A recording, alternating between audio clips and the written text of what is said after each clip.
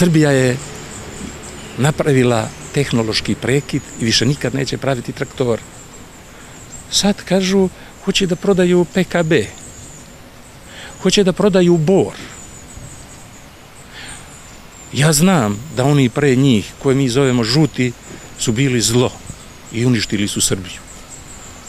Ali današnja vlast sa socijalistima i sa naprednjacima je još veće zlo.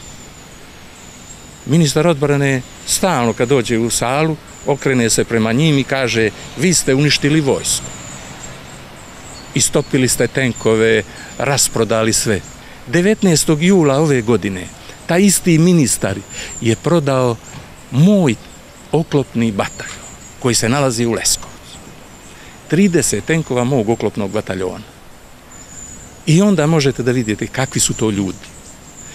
Ja vam garantujem da sa ulice, kako idete, sretnete ljude, uzmete ih za ruku, dovedete u vladu i kažete, bit ćeš ministar tog i toga.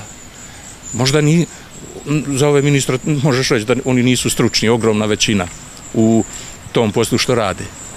Ali je problem što nisu pošteni i što rade protiv interesa Srbije.